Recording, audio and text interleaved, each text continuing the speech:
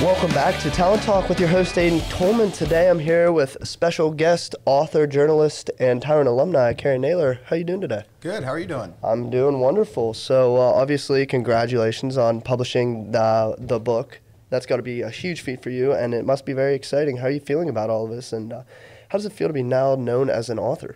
Uh, it's it feels great. Um, it happened that it, it, was published right after Thanksgiving. Mm-hmm. So obviously around that time I was seeing a lot of people that I knew and lots of people were saying congratulations and people were posting things on social media like congratulations this is so yeah. great. And um, it's funny I, I never looked at it that way. Whenever I started this project it was just something that I wanted to do. It was something I was doing to pass the time which I'm sure we'll get into here in a couple of minutes. Yeah. But um, but it feels great to hear everybody telling me congratulations. There was mm-hmm. a lot of people that said uh, that, that, knew that I was doing this and helped me along the way and were part of the journey. But uh, it's a funny feeling too because whenever I finally hit publish, whenever I was finally done with it, it was more like just a deep sigh of relief. Yeah, hundred like, percent. Yeah, like that that part is over now, and that feels really good. Mm-hmm. Um, so I try to tell people while I appreciate all the congratulations and everything else, I don't know that it was that big of a feat. It was just something that I put a lot of effort into. Mm-hmm. And so I think if you put a lot of effort into something and you really want to do it, you can do almost anything. And um, I guess congratulations would be order, but it, in order, but it's just one of those things. I don't yeah. know. I feel funny about it. yeah, I definitely feel you on that. So uh, can you uh, tell us a little bit about the uh, the book? Yeah, um, it's a two volume book, and it covers the history of Tyrone football from uh, Tyrone High School football from its inception in 1921 right up until 2021. So the last season that gets covered in here is 2020, and that leads us mm-hmm. into this season that just passed. And, uh, and we even go back a little bit before that because, um, again, which I think we'll talk about in a little bit, there was a ban on football in Tyrone for mm-hmm. many years in the 1800s and into the early 1900s. Yeah. So we talk about that too in the book, but really it's a book that's based on a particular theme. So I try to tell people all the time, like it might not be what you're expecting, but I think you'll like it. It's not mm-hmm. it's not something where you can open a chapter and and you say like, oh, I want to open the chapter to my senior year. Let's go to uh, 1973, and there's probably every game. It's not like that. It's a it's a book that's based around a theme, and it's a book that tries to trace the history of the football team as it coincides with the history of the town. Yeah. And so, um, whenever I think about Tyrone itself, I think about it, it's a place I've lived all my life and I love mm-hmm. it. And, I, and I've, you know, for college and for other reasons, I've been other places, but I really love it here. Yeah. And, um, and I think whenever you look at the history of the town, it's a place that has had ups and downs. It's a mm-hmm. place that's had um, wild swings of ups and downs. There's been times whenever it's been up, up, like whenever the railroad was here. There yeah. are times whenever it's experienced very high highs, but there's also been times whenever there have been collapses. And mm-hmm. some of those mm-hmm. collapses might include the railroad leaving. It might include um, part of the paper mill closing. Um, businesses leaving. There was mm-hmm. a time whenever the town was divided in half by that highway that comes off at an exit down at the post office. Yeah. And there were plenty of times whenever people would have just as soon left the town for dead. Mm-hmm. Um, but one of the things I try to emphasize in this book very early on in the first volume is um, Tyroners are stubborn by nature. They're kind of hard headed by nature. yeah, and I like definitely. that. I think that's something that makes this place great. Mm-hmm. And, and, so they've always refused to die. And one of the yes. things that I say often in this book is it's hard to tell a Tyroner what to do. It's harder to tell them what not to do. 100%. There's just that attitude in there. And, and that's one of the things that makes them great. But what I found interesting in my research and, and I noticed this really early on, and that was whenever I really got the direction for this book, mm-hmm. is that the football team follows the exact same trajectory. Mm-hmm. There are w- swings of very high highs and very low lows, and each time um, there were instances where maybe people would have just as soon left the team for dead. Mm-hmm. Um, but each time they were able to rise. And I think one of the things that helped the football team rise was just that attitude. Definitely. And you especially see it, I say this all the time, in Tyrone boys. Like there's something yeah. in the psyche of a young Tyrone boy that wants to be stubborn, that wants to push back. 100%. Yeah, and, and for better or for worse. Mm-hmm. And I think it makes for outstanding, um, really outstanding adults. Like I think there's a, mm-hmm. a lot of a lot of great people in this community. Just that attitude. Um, and I think it can make for great sports teams because if mm-hmm. you can mm-hmm. tap into that, 100%. The, the, best coaches at this school have been coaches who are um, stern, kind of disciplinarians, people who push back, people mm-hmm. who are every bit as stubborn as the boys that they're coaching, but also people who are able to recognize that attitude and harness it and put it in the right direction. Oh, 100%. I could completely agree with you on that one. So, uh, what inspired you to uh, write this book? Yeah, well, it's funny. Uh, Um, for a long time, I've written Tyrone football stories. Mm-hmm. I've written for the Herald since my sophomore year in college. Yeah. And I first started out writing girls basketball stories and um, baseball stories. As a matter of fact, uh, so I was young. Uh, I was probably only maybe 19. But the first baseball season I covered would have been your dad's senior season. Really? Yeah, and they went to the district finals that year and lost to Mount Union. Oh, But they had a Oh, great team. Definitely. They had won districts as juniors. Yeah, he is always talking about that. yeah, Yeah, That, that was a great team, and, and they were a bunch of good guys too. And um, so that was what I did. And then when I graduated college, I just wanted to find something to do until I got a teaching job. Yeah. And I wanted a teaching job.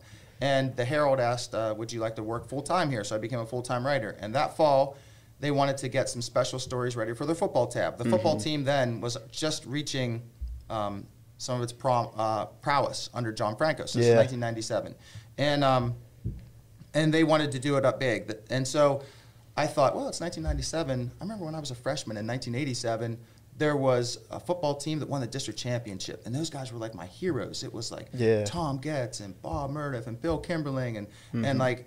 I mean, if I walked down the hallway with those guys, I would be afraid to even make eye contact because those guys were so cool. Yeah. And I'm like, I would like to do a story on that because we're really praising all these teams of, of the present, but I think people forget that. So I wrote this story called "The Team That Time Forgot," where I talked to all those guys. I did a lot of research, Mm-hmm. and I wrote a story about that. And I really like that. And and it's a genre of writing that I like, like sports writing that does more than just tell statistics, but it tells a story. Yeah. And so I started doing that. Like once a year, I would do a special story like that for the football tab, and I kept on doing that. So flash forward to like 2018, I'm still writing these stories like that every now and then. Yeah. And I had a student teacher, uh, and her name was Miss Martin. She teaches here now, actually. Mm-hmm. I was gonna say Uh, that name. Sounds familiar, Well, yeah. she's married, and I and I feel bad because I don't remember her married name, but, but she was awesome as a student Oh. teacher. But really, she was the one who said to me, like, well, if you want that to go out to a wider audience, why don't you try blogging? So I started to write these stories for a football blog that I have. Yeah. It's called Tyrone Football Stories.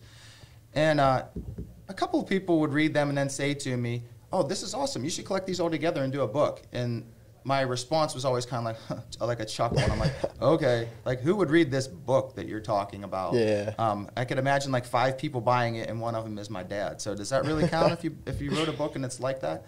So I just kept that on the back burner, and I thought maybe sometime. But I, I always knew that I did want to write a book. Um, probably from the time I was like 17. Like at 17, I started reading books that were um, history books and biographies. Yeah. And the longer I read them, the more I thought I could actually do this. Like this isn't something that's that's difficult. I don't think you know. I, th- I think I could actually do this. So I knew I wanted to write a book. Okay, so March 13th, 2020 was the day the pandemic began for everybody. And so I teach at Bellwood Antis High School. And at Bellwood that day, they made an announcement uh, late in the day. We're going to be closing for an hour because of coronavirus. And this, uh, we're going to be closed for an entire week, and we're trying to stop the spread. Yeah, and then it just kept going on and on after that, pretty much. Literally before we left that day, all the kids were gone, and the teachers were milling around in the hallway talking like, "Hey, uh, it's kind of like Christmas break. I guess we'll see you in a week or so." How about it? And they made an announcement, two weeks. So we get home that night, and uh, there's a. I always do work. I have a, a sports room down in the basement. I was going Mm-hmm. there by myself and do like writing stories for the Herald, whatever. Yeah. I went down there that night, and I'm thinking like, what can I do for these next two weeks? I have no obligations because at that time nobody was teaching online. It was just Mm-hmm. Yeah. you were closed.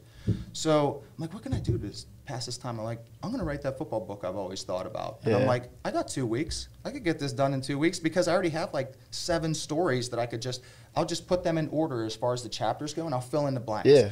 And it turns out like the idea of writing a book that spans 100 years in two weeks Mm-hmm. is almost as naive as the idea of ending a global pandemic in two weeks by shutting schools down. Yeah. So it, it became a passion for me. And obviously, I could keep on doing it throughout that, that school year. And then once the summer started, it really became like a drive where I was traveling to meet people. I was traveling to find artifacts. I was mm-hmm. going to courthouses to find documents. And so it was a big process. But that was where it all started. Long answer for a good question. So that kind of ties into the next one. So where did like where did your research for the book come from? Like was it all like just common knowledge or like Yeah. did you have to do a little bit of digging in like Tyrone history books? Because I know my dad actually he has a book downstairs that he likes to read and that has some of the football information. Yeah, I did that too. So some of it, you like, like I could write an outline with common knowledge more than likely, but I couldn't write a whole book. So the first thing I did, I uh, I got a subscription to a website called newspapers.com, and this site has PDFs of almost every newspaper in the entire country, No going back to the 1800s. And, and there will be some years where they might only have three months instead of 12, or maybe they'll skip a year, but it's tons of information. I literally read thousands and saved thousands of stories on my Wow. computer. So, yeah, it definitely wasn't something that I did off the top of my head because, it, as I said before, it's more than just a football book, it's also a history of the town book. Mm-hmm. You mentioned a book that your dad has that's like a history of the town. It might be this one. There was a book that was written in 1950 by a guy who used to teach here.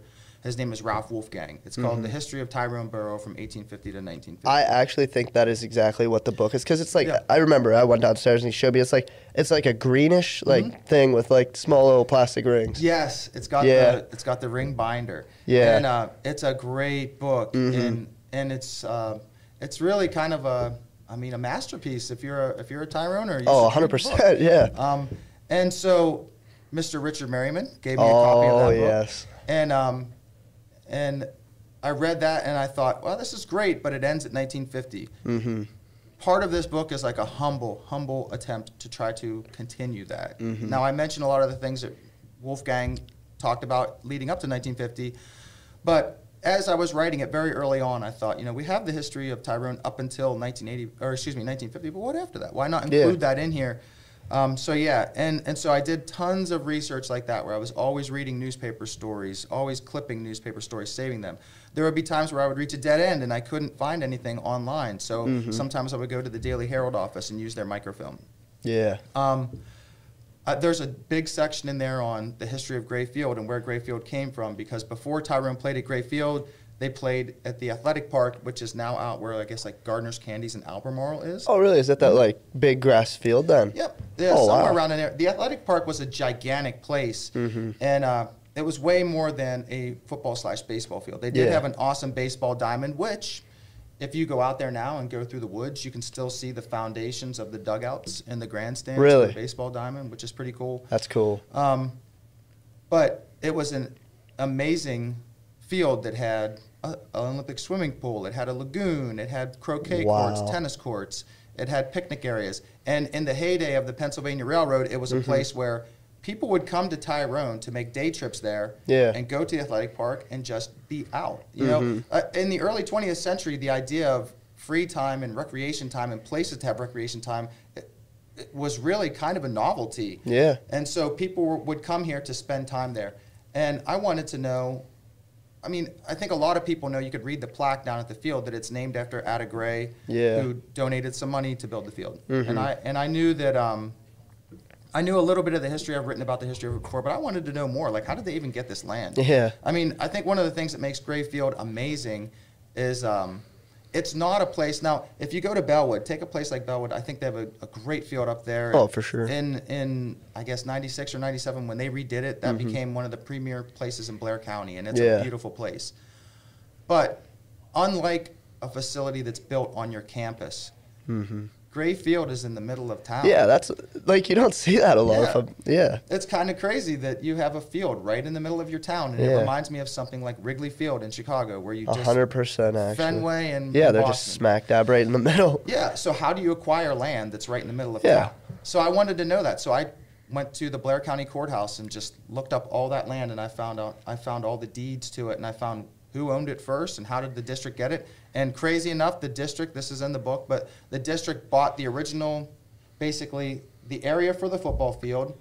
As well as the area behind it where that church is now, they Yeah. turned that into a practice field. They got all that land for a dollar. So somebody dollar. Who, yeah, there was a family who owned that land, and they wanted to do- basically donate it Yeah. to, to the school, and they gave it to him for a dollar. Wow. Which Ada Gray did bequeath the district uh, ten thousand dollars when she Mm-hmm. died, which would have been something like one hundred sixty thousand today. Yeah. And this was in the middle of the Great Depression, so that was another thing that makes the story of Gray Field. That's more interesting. Yeah. it makes it really interesting because how do you have money for anything in the Great Depression? Yeah. But even more, how do you sell the community on the fact that hey, the district, which draws from your tax dollars, wants to build this football field. Yeah. I know we already have one, but we want to build another one right here. So how do you do that? And one of the ways was through that donation. One of the Mm-hmm. ways was by getting it for a dollar, and another way was through um, like WPA and other Depression era programs that put people to work on the field. Mm-hmm. Yeah. So it's a really interesting story.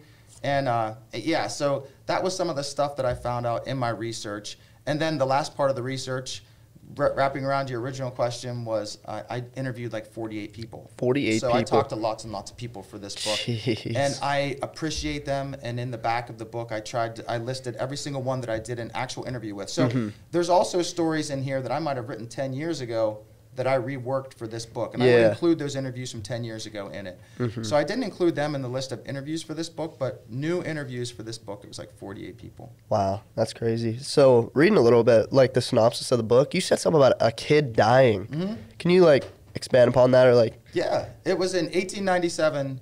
Tyrone didn't have a football team. You can go back as early as like 1894, and you'll see at board meetings the district laying down the law and having these Yeah. decrees where it's like no one at this district will play football. In the late 1800s and early 1900s, Wow. Mm-hmm. lots of people didn't play football because it was viewed as a dangerous sport. Like you would have 30 people dying every year playing football. This is before like helmets and all the all kinds of stuff. So that's definitely like Mm-hmm. Yeah. it, ma- it makes sense. Yeah, it does. It was head injuries mostly, Yeah. or getting trampled. So now, when you think of football, you think of, okay, we have a center, we have five people on the line. We're going to split out our wide receivers. Yeah. We're going to put this guy in motion. And what it does is it gives you lots and lots of space to move around. So a lot of times in today's game, when you're getting hit, you're going to get hit by one guy, 2 mm-hmm. guys. Sometimes that can be dangerous. Like Yeah. back before they had targeting rules, and you could just wallop somebody coming across the middle.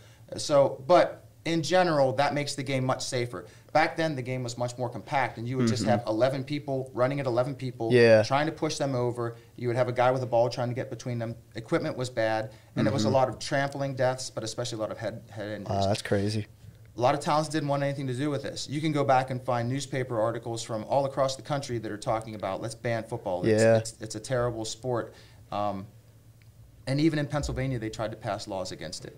But in 1897, we didn't have a high school football team here, but they had club teams all the time. And Yeah. so this club team went to Bellwood. That's what makes this story pretty ironic. Yeah. Is that they went by train to Bellwood. They played a game. I've tried to find out forever where this game is. The best I can come is I think it was at that space before you turn right to go on the Stadium Drive across the road near where those baseball fields are now. Oh, yeah. I think it, I think that's where the game was. Although I haven't been able to find out for sure. Mm-hmm. But um, yeah. To make a long story short, this man named Benjamin Rich. He was 22 years old. He was a pharmacist living in Tyrone. He was hit in the head. He collapsed. He tried to get off the field. He collapsed again. They took him to this nearby hotel Jeez. which I think is that White House. It's a they it's there's two from what I've learned there are two places in Bellwood that have been called the Bell House. One of them is back near Hometown Market. The other one is out there on the Mm-hmm. Oh, highway. yeah. So it's near that big white place there. I think that was where they took him. But Wow. before they got him there, he was dead.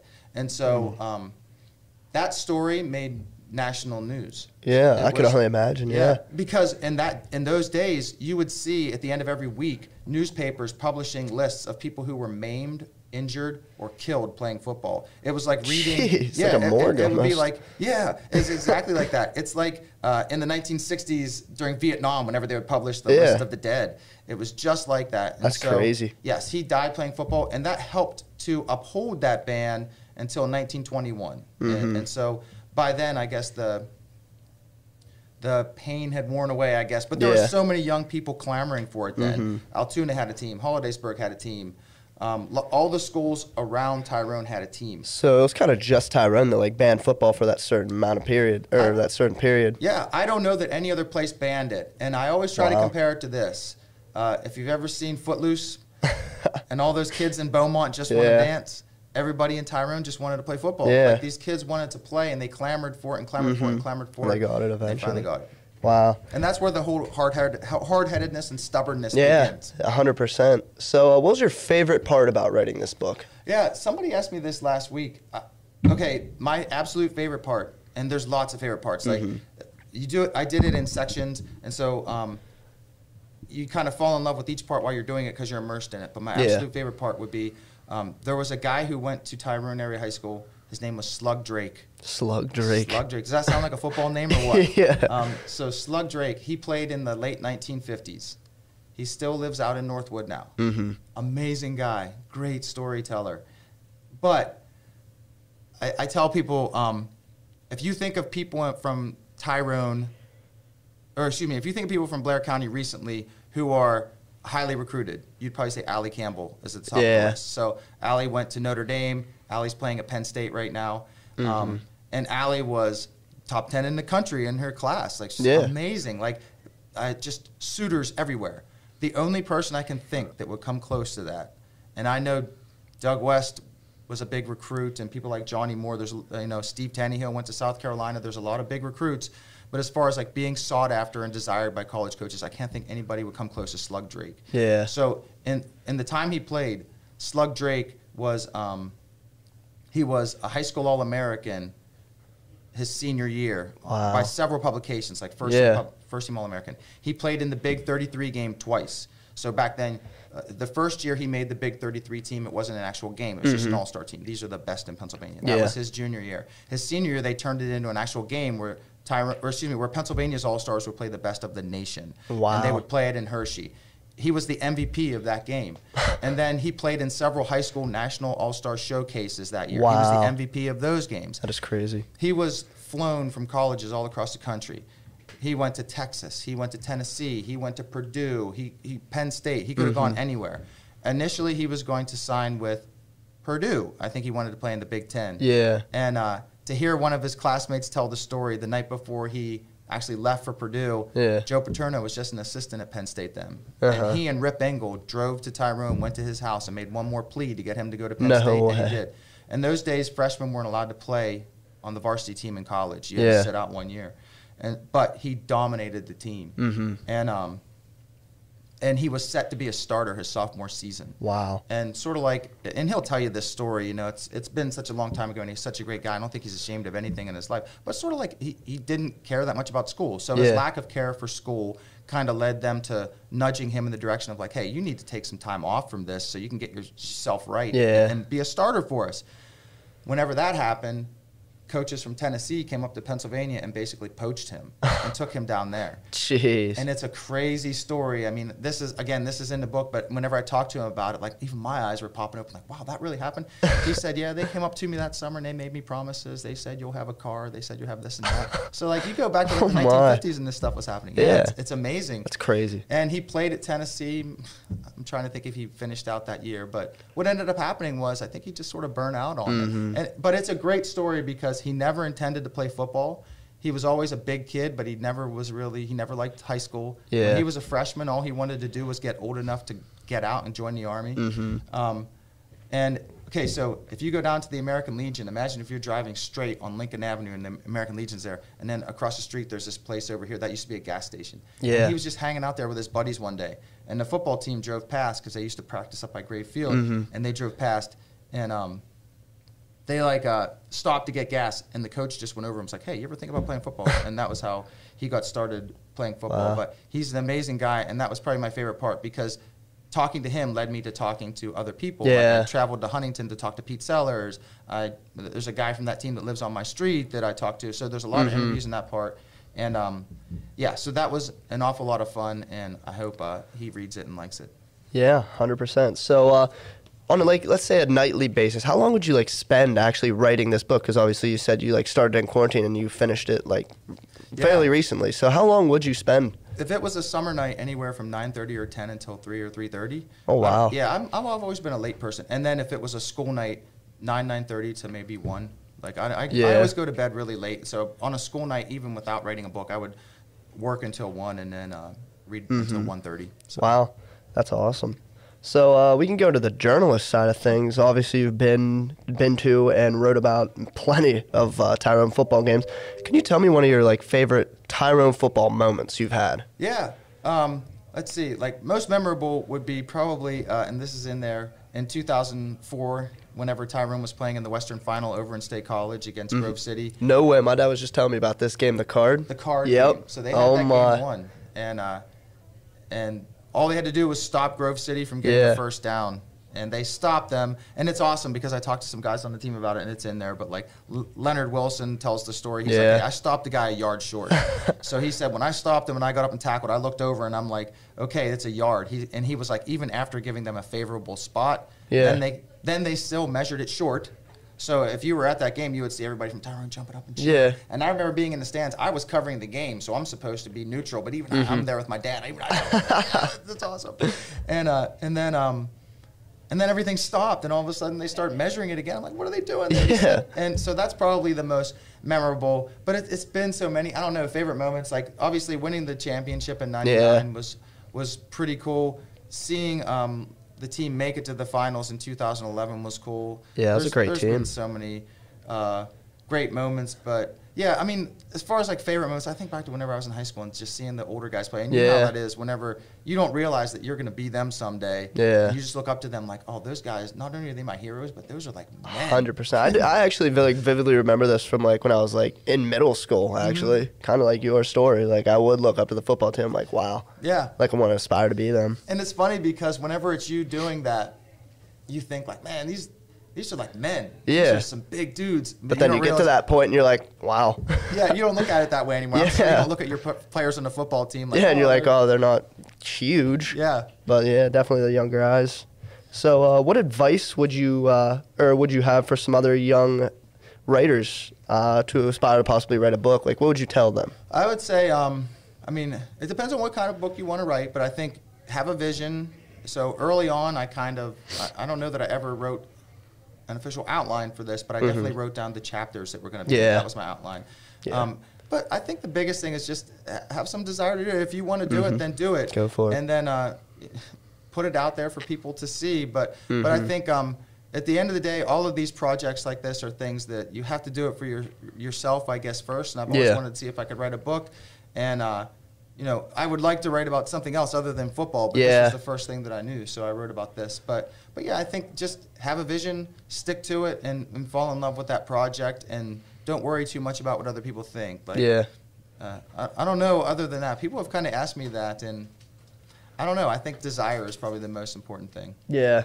Wow. So, um, is there another book in the uh, near future, possibly? I don't know about the near future. So it was weird. Um, after this book was finished, I had spent literally, and I'm not exaggerating when I say this, every day from March 13th until right before Thanksgiving, there was a portion of my day that was spent working on this book. So whenever it was published, uh, and then it becomes like, now what do I do?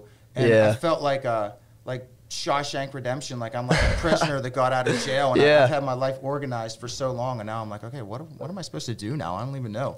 um, so yeah, it was like a couple of nights where I just sat aimlessly. Yeah. and I'm like, what am I supposed to do? And so I just put on newspapers.com and started scrolling through heralds from the 50s and 40s being like something will come to me Yeah. like it's magic or something and meanwhile in the background i'm trying to like like okay i can dedicate my life to something else. I'll just rewatch the entire star wars saga. So i'm doing Yeah. that in the background. Uh, but i don't know. It's funny. Somebody at, at school the other day said you should write a story about uh, your experiences as a teacher. I'm thinking like who would want to read that? Like who cares? But then i thought Yeah. oh, i kind of said the same thing about this book too. Like who would actually want to read that? And people have wanted to read it so far. So maybe i would do something like that but i would like to write lots more books. Like i think it's Yeah. an awesome way to spend time and it doesn't take a whole lot of time out of your Yeah. uh, when the sun's up day Mhm. so um, i just like it and i would like to do something else what it would be i don't know if you have any ideas tell me Oh yeah. Heck, we make a poll on the Eagle Eye or something. What should be the next book? Ah, Yeah. That's, that's a good one because, I mean, again, this story is told in there too. Like the whole way that the name the Golden Eagles was established for Tyrone in the 1930s was through a student vote. Yeah. So the students voted on Golden, e- Golden Eagles. So Oh, wow. if we want to have a, again, I would think that poll, that poll would be similar to what I expected for the book. You'll get like five or six people that respond to that poll. So yeah, put that poll up and see what six people think I should write about. Oh, there you go. So, uh, where could people like viewers they might want to purchase this book? Where could you purchase this book? Yeah, that's uh, definitely one thing I would recommend for young authors if you're aspiring to do a book. I wrote this entire book in Microsoft Word. Yeah. It's really DIY. Like a lot of the pictures that I put in here were pictures that I had that I took a picture of with my phone and then I put them in here. Uh, it's crazy. Like this picture on the back, I had a friend design the cover for me, and the picture of me on the back, Yeah. he sent me a, um, an email one day and was like, hey, we need your picture. Where can I get that? and I'm like, oh, man. And his daughter goes to Bellwood. I was like, look in her yearbook and just take a picture of my yearbook picture. So he did that with his phone. So, I mean, technology, right? Oh, I would it? recommend to people, I did this through Amazon, and Mm-hmm. I wrote the entire manuscript. And obviously, there's formatting you have to do to make it right. And then even after that, there's so many hoops you got to jump through so that everything's inside the lines. And Yeah. you- you, it takes a long time. But anyway, it's worth it, and you can do it at no cost to you. Yeah. So people have said to me, um, "How are you doing? Have you broken even yet?" And I'm like, I, I mean, if I make one dollar on this, I've w- more than broken even because Mm-hmm. if you publish on Amazon, it costs you nothing to publish it because they only print it on demand. Yeah. So go to Amazon.com, do a search for Tyrone Football, and you'll find it there. Mm-hmm. And whenever it first came out, it was actually. Uh, the 219th best-selling football book in the country. No way. There, here- There you go. Darn right. Yeah. Oh wow! So uh, thank you very much for being on the podcast. It was great having you. It was great you. Talking to you. it. Yeah, thank you. Have a great day.